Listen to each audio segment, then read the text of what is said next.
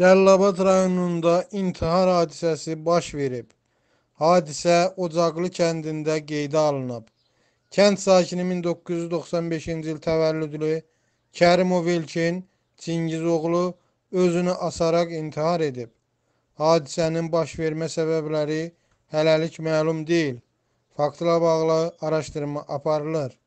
Allah rəhmət eləsin.